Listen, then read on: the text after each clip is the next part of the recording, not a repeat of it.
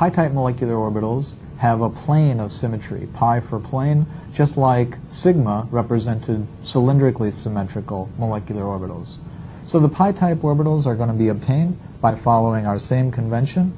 We're going to try to bring positive x-axes together. We're going to, we've been rotating about z, and we've always found that to be convenient. But in this case, we're going to find that sometimes we need to rotate about y in order to get the desired outcome, the convenient desired outcome, where orbitals that are of the same sign produce a bonding interaction, whereas orbitals of opposite sign produce anti-bonding uh, interactions. And again, we can rotate either about z or about y. We just want to bring the positive x-axes together. So we're going to be looking for uh, pi-type orbitals, and here's how you can spot where there is going to be a pi-type interaction. When we have orbitals that combine in a side-by-side -side type fashion, uh, that would be uh, the 2p atomic orbitals.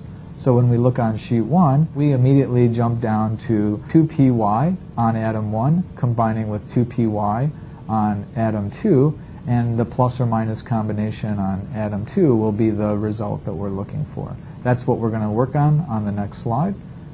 We find the 2p, the 2py on atom 1 combines with the 2py on atom 2. And if we were to go ahead and do our normal convention, rotating about z, you can see what would happen.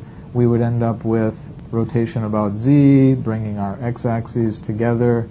The change uh, in y would be the direction, so y would now go from the top of the screen, the upper right-hand corner of the screen, down to the lower left-hand corner of the screen.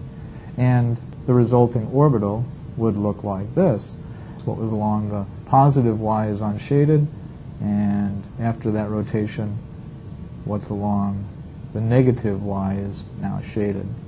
Okay, so that doesn't really work with producing a, uh, a bonding interaction. We want orbitals of the same sign, so positive 2py, positive 2py, the same sign, to combine in a, bind, a bonding type scheme. So what can we do?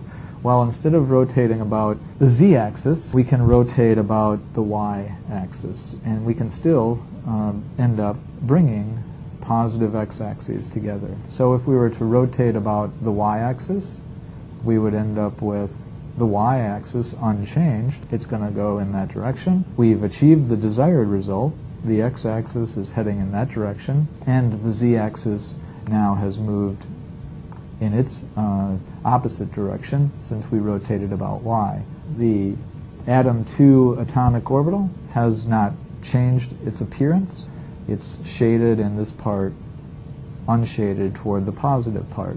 And now, when we combine that together, along moving x-axes together, we're left with the uh, bonding, pi-type bonding situation. So let me try to draw the plane. Uh, the plane that I'm drawing is the YZ plane. And uh, if we just draw axes along atom 1 and axes along atom 2, and then we can see that when we combine this lobe and this lobe, just to recognize those, they're of the same sign on the positive region of the Y space, and so they're going to be left unshaded.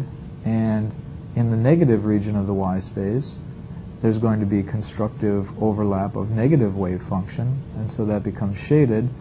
And the plane of symmetry, actually, is this nodal plane, which I will draw in a different color. The nodal plane is, that's the plane which runs along the x-axis, and it includes the z-axis, and that plane separates the positive wave function from the negative wave function. So I've made an attempt at drawing an, a plane perpendicular to uh, y plane. So let me just label these planes. The green plane is the xz plane, and the blue plane is the xy plane. And those two planes are perpendicular. The green plane cuts the positive wave function from the negative wave function. That's the plane that's associated with the pi-type bonding The pi-type antibonding looks like this. Here's our axes, our y-axes, shapes that, that show that there's no wave function in between. And in this region of atom 1, that wave function is shaded. And in this region of atom 2, that wave function is shaded. There's still a plane of symmetry in the uh, xz direction that looks like that. And that plane of symmetry cuts through the nodal region where there's going to be at the new, at a change in sign of pi. The z uh, combinations 2pz plus 2pz, 2pz minus 2pz lead to analogous types of pi and pi star uh, interactions.